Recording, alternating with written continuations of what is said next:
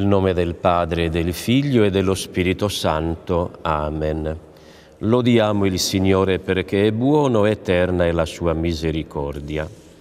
Cari fratelli e care sorelle, la Bibbia ci offre continuamente tanti bei esempi, tanti bei motivi per la nostra preghiera, per la nostra meditazione, per il nostro progredire in quella che è la vita cristiana.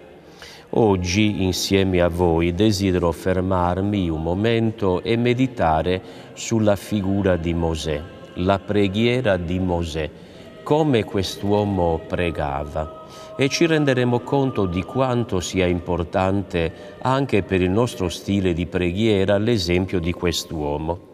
Vorrei innanzitutto leggere dal testo sacro la vocazione e la missione di Mosè. Siamo nel libro dell'Esodo, al capitolo terzo. Dice così. Mosè era pastore del gregge di Jetro, suo suocero, sacerdote di Madian. Portò il gregge oltre il deserto e arrivò al monte di Dio, l'Oreb. Gli apparve l'angelo del Signore in una fiamma di fuoco dal mezzo di un roveto. Mosè guardò Ecco che il roveto bruciava nel fuoco, ma il roveto non si consumava. Egli disse, ora mi sposto per osservare questo spettacolo grandioso. Perché mai il roveto non si brucia?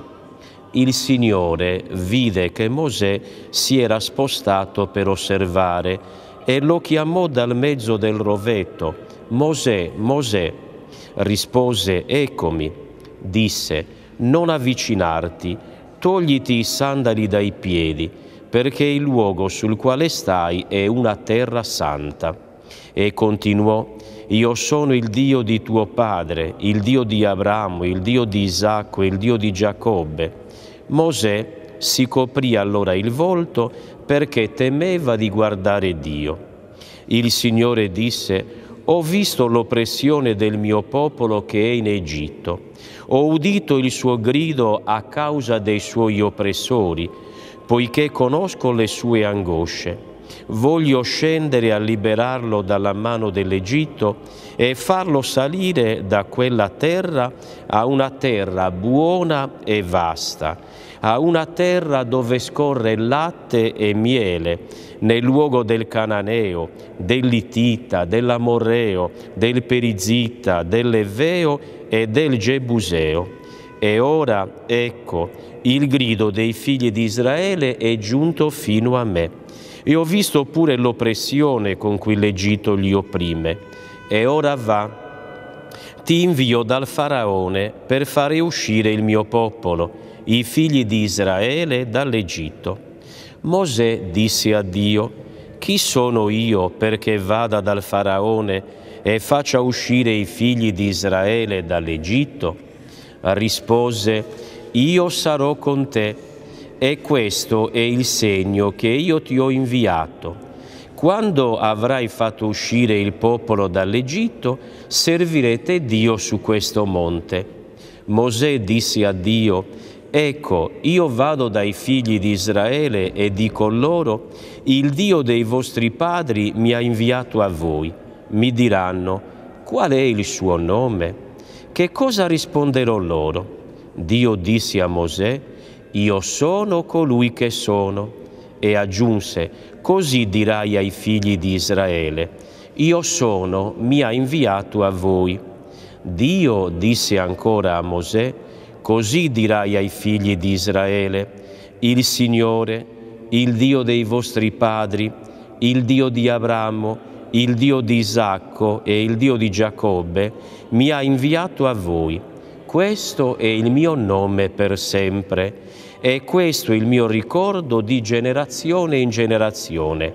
Va, riunisci gli anziani di Israele e di loro, mi è apparso il Signore, il Dio dei vostri padri, il Dio di Abramo, Isacco e Giacobbe, dicendo, io vi ho visitato e ho visto quello che vi è stato fatto in Egitto e ho detto, vi faccio salire dall'oppressione dell'Egitto alla terra del Cananeo, dell'Itita, dell'Amorreo, del Perizita, dell'Eveo, del Gebuseo, alla terra dove scorre latte e miele. Ascolteranno la tua voce e tu con gli anziani di Israele andrete dal re d'Egitto e gli direte, il Signore, Dio degli ebrei, ci è venuto incontro e ora lasciaci andare per il cammino di tre giorni nel deserto e sacrificheremo al Signore nostro Dio. Io so che il re d'Egitto non vi lascerà andare se non costretto da mano forte allora stenderò la mia mano e colpirò l'Egitto con ogni prodigio che farò in mezzo ad esso. Dopodiché vi manderà via. Farò sì che questo popolo trovi grazia agli occhi degli egiziani e quando ve ne andrete non ve ne andrete a mani vuote. Ogni donna chiederà alla sua vicina e a chi abita nella sua casa oggetti d'argento, oggetti d'oro e vesti. Ne ricoprirete i vostri figli e le vostre figlie e spoglierete gli egiziani. Ecco, è il capitolo terzo del libro dell'Esodo dove ci viene raccontata la vocazione di Mosè. Ma nel nostro itinerario sul tema della preghiera ci stiamo rendendo conto che Dio non ha mai amato avere a che fare con oranti facili, con uomini di preghiera facili e nemmeno Mosè sarà un interlocutore fiacco fin dal primo giorno della sua vocazione. Cerchiamo di osservare la figura di Mosè. Quando Dio lo chiama, com'è Mosè? In quale situazione si trova? ma potremmo dire che Mosè è umanamente un fallito e infatti il libro dell'Esodo, come abbiamo appena ascoltato, ce lo raffigura nella terra di Madian come un fuggiasco. Da giovane aveva provato pietà per la sua gente e si era anche schierato in difesa degli oppressi. Ma presto che cosa scopre? scopre che nonostante i buoni propositi, dalle sue mani non sgorga giustizia, semmai violenza. È un uomo che inizialmente voleva giustizia, ma questa giustizia non la sa esercitare bene. Sgorga infatti non tanto giustizia ma violenza. Ecco allora all'improvviso frantumarsi quei segni di gloria di Mosè e infatti All'improvviso Mosè non è più un funzionario promettente, destinato nella corte del faraone ad una rapida carriera, ma è uno che si è giocato tutte le migliori opportunità, potremmo dire umanamente. E ora come si trova? In che situazione si trova? Si trova a pascolare un gregge che per di più non è suo ma è proprio in quel deserto, proprio in quel silenzio nel deserto di Madian che Dio convoca Mosè. Lì Dio decide di incontrare Mosè e lo convoca dinanzi al roveto ardente, a quella splendida rivelazione. Che cosa Dio dirà a Mosè? Riascoltiamo le parole come la Bibbia ci dice. Io sono il Dio di tuo padre, il Dio di Abramo, il Dio di Isacco, il Dio di Giacobbe. Come reagisce Mosè? Continuiamo ancora in quella che è la lettura del testo sacro. Mosè allora si coprì il volto perché aveva paura di guardare verso Dio. Mosè si copre il volto, ha paura di guardare verso Dio a Dio che parla, a Dio che lo invita a prendersi nuovamente cura del popolo di Israele, Mosè, che cosa oppone? Potremmo dire dinanzi a questa vocazione, dinanzi a questa chiamata, dinanzi a questo splendido incontro, qual è il comportamento di Mosè? E vediamo che Mosè oppone le sue paure, oppone le sue obiezioni. Mosè si sente indegno di quella missione, non è degno di quella missione, non conosce il nome di Dio, non verrà creduto dagli israeliti, ha una lingua che balbetta e così tante obiezioni, tante obiezioni, tante paure. È la parola che fiorisce più spesso sulle labbra di Mosè in ogni preghiera che rivolge a Dio è questa, è la domanda, perché? Sembra che ci sia una raffica di domande. Perché? Perché mi ha inviato? Perché vuoi liberare questo popolo? Nel Pentateuco c'è perfino un passaggio drammatico dove Dio rinfaccia a Mosè la sua mancanza di fiducia. Perché? Perché? Perché? E sarà proprio questa mancanza di fiducia che impedirà a Mosè, come ci racconta il libro dei numeri al capitolo 20, l'ingresso nella terra promessa. Mosè, con questi timori, con questo cuore che spesso vacilla, come può pregare? Come ci può essere di esempio nella preghiera? Come potremo guardare a Lui come un modello?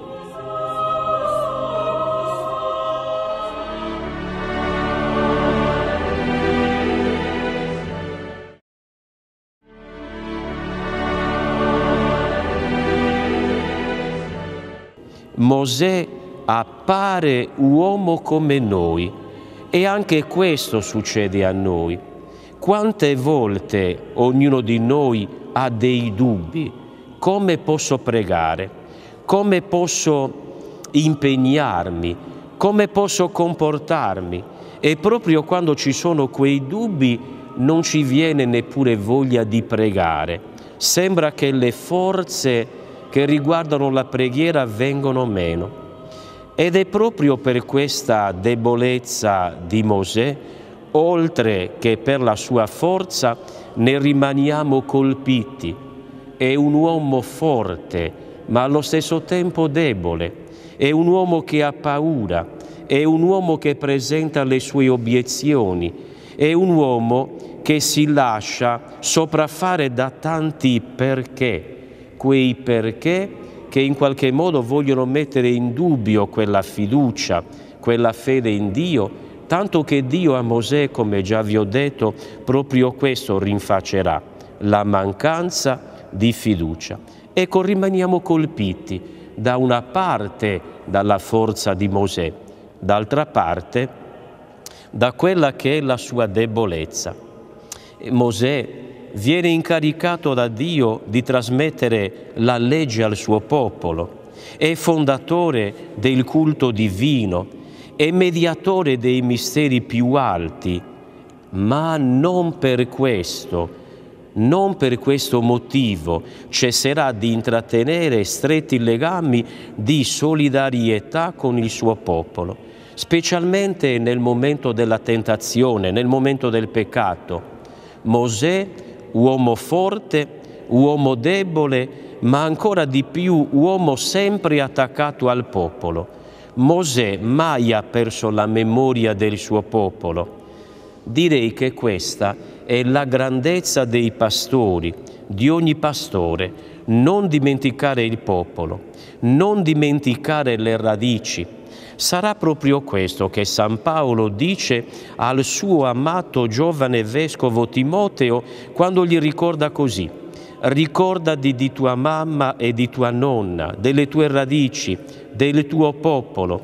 Ecco come è Mosè, è tanto amico di Dio da poter parlare con lui faccia a faccia ma allo stesso tempo resterà tanto amico degli uomini da provare misericordia per i loro peccati, per le loro tentazioni, per le improvvise nostalgie che gli esuli rivolgono al passato ripensando a quando erano in Egitto le famose cipolle d'Egitto, che il popolo nei momenti di difficoltà con nostalgia ricordavano rimproverando Mosè, ma perché non ci hai lasciati in pace? Ma perché non ci hai lasciati dove eravamo? Ma perché ci hai portati qui a morire? Ecco Mosè tanto amico di Dio da poter parlare con lui faccia a faccia, ma tanto amico dagli uomini per poter sentire, provare, avere una misericordia davvero tanto grande per i loro peccati, per le loro tentazioni e soprattutto per quei momenti pieni, pieni di nostalgia verso il passato, verso quelle che erano le cipolle d'Egitto. Mosè dunque non rinnega Dio, ma allo stesso tempo non rinnega neppure il suo popolo. Potremmo dire che Mosè è l'uomo della coerenza, è coerente con il suo sangue ed è coerente con la voce di Dio. Uomo che guarda a Dio, uomo che guarda al popolo.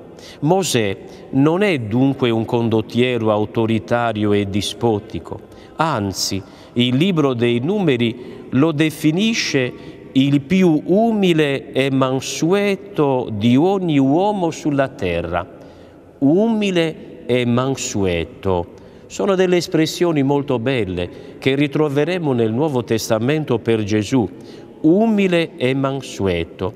Ecco, nonostante la sua condizione di privilegio, Mosè non cessa di appartenere a quella schiera di poveri in spirito che vivono facendo della fiducia in Dio il viatico del loro cammino. Mosè è un uomo del popolo. Mosè è uomo del popolo. Così scopriamo il modo più proprio di pregare di Mosè. Com'è la preghiera di Mosè? Che cosa Mosè nel modo di pregare può insegnare, può dire ad ognuno di noi? È proprio questo, il modo di pregare di Mosè è l'intercessione. Ed è questo che ci ricorda anche il catechismo della Chiesa Cattolica, la sua fede in Dio la fede di Mosè diventa un tutt'uno con il senso di paternità che nutre per la sua gente. La scrittura, come ci descrive Mosè, come ce lo raffigura, come ce lo fa incontrare, abitualmente con le mani tese verso l'alto, verso Dio, quasi a fare da ponte con la sua stessa persona tra cielo e terra, l'uomo della intercessione. Ecco, perfino nei momenti più difficili, perfino nel giorno in cui il popolo ripudia Dio e lui stesso come guida per farsi un vitello d'oro, Mosè non se la sente di mettere da parte la sua gente è il mio popolo, dirà il Signore, è il tuo popolo. Ecco, è il mio popolo, è il tuo popolo. Mosè non rinnega Dio, ma non rinnega neanche il popolo e dice a Dio, questo popolo ha commesso un grande peccato, si sono fatti un Dio d'oro, ma ora se tu perdonassi il loro peccato, altrimenti se non perdoni il loro peccato, cancellami dal tuo libro che hai scritto. Mosè non barata il popolo, non abbandona il popolo. Mosè è l'intercessore, è il ponte, è l'intercessore. Ecco, ambedue, da una parte il popolo, da una parte Dio, e lui è nel mezzo. Mosè, uomo di preghiera, la preghiera di intercessione. Mosè non vende la sua gente per fare carriera, non è un arrampicatore, è un intercessore per la sua gente, per la sua carne, per la sua storia, per il suo popolo, per Dio che lo ha chiamato. La preghiera di Mosè. Mosè è il ponte. Che bell'esempio per me sacerdote, per bell'esempio, che bell'esempio per ogni pastore, per ognuno che deve essere ponte. I pastori, ogni sacerdote, che cosa è se non un ponte fra il popolo al quale appartengono e Dio al quale appartiene per vocazione, quel ponte tra il popolo e Dio. Così è Mosè tanto che Mosè continuerà a dire Perdona, Signore, il loro peccato, altrimenti se tu non lo perdoni, cancellami dal tuo libro che hai scritto. È come dire, non voglio fare carriera con il mio popolo, non voglio approfittare del mio popolo, non voglio servirmi del mio popolo, ma servire il mio popolo. Ecco, fratelli, sorelle, e questa è la preghiera che i veri credenti coltivano nella loro vita spirituale, una preghiera di intercessione. E anche se come credenti sperimentiamo le mancanze delle persone e la loro lontananza da Dio, come uomini di preghiera non dobbiamo questi aspetti condannare, non le dobbiamo rifiutare, ma dobbiamo essere intercessori dei ponti. È per questo che l'atteggiamento dell'intercessione è l'atteggiamento proprio dei santi, l'atteggiamento proprio dei grandi, l'atteggiamento di tutti coloro che ad imitazione di Gesù vogliono essere ponti tra Dio e il popolo. Potremmo dire che proprio per questo motivo, in questo senso, Mosè è stato il più grande profeta di Gesù, Gesù nostro avvocato, Gesù nostro intercessore. Così ancora ci ricorda il catechismo della Chiesa Cattolica. E anche oggi, non dimentichiamolo, Gesù è il ponte, il pontefice fra noi e il Padre. E che cosa fa Gesù? Intercede per noi fa vedere al Padre le piaghe che sono il prezzo della nostra salvezza e intercede. E Mosè è figura di Gesù che oggi prega per noi, intercede per noi. Mi pare davvero che Mosè sia una bella figura, un bel esempio per la nostra preghiera, per la nostra capacità di essere intercessori, stare tra Dio e il popolo. Mosè allora sprona ognuno di noi a pregare con lo stesso ardore di Gesù, a intercedere per il mondo, a ricordare che il mondo, nonostante tutte le sue fragilità, appartiene sempre a Dio.